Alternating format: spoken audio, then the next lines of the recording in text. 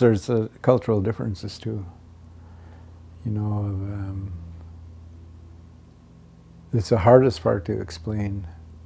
Like sometimes, you know, we're just so literal that we take everything literal uh, because we're, we didn't have a written style of communication that is all vocal and nonverbal and music and things like that. That was a communication.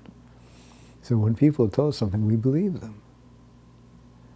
You see, and we take it literally, sometimes to the extreme.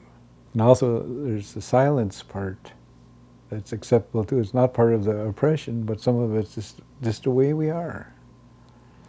You know, so there needs to be that statement, you can ask me. Don't be afraid to ask me.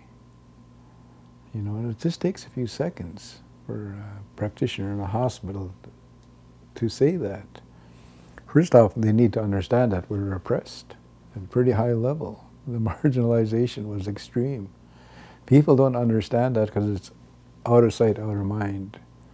When you put people on a reservation, it's just a, like a microchip of what they're used to living on before they become poor. It's an institution, it's a literal institution and they were actually, at the beginning, taught that you can't leave without permission. You know, at the very beginning of reservations. You know, and that, and that transmitted through the generations. And don't you ask for anything. You know, what you ask for is permission to leave or to do whatever you're going to do. And many didn't. And there are many still there, you know. It's, um, it's a sad reality.